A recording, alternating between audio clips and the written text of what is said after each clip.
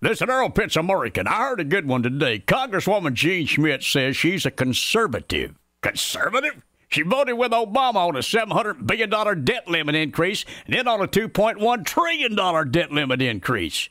So I'd say she's as conservative as Obama. Wake up, America! We got to support Brad Wenstrup. He's a small business owner, doctor, and veteran who even won a Bronze Star. So get out and vote for Brad Wenstrup for Congress.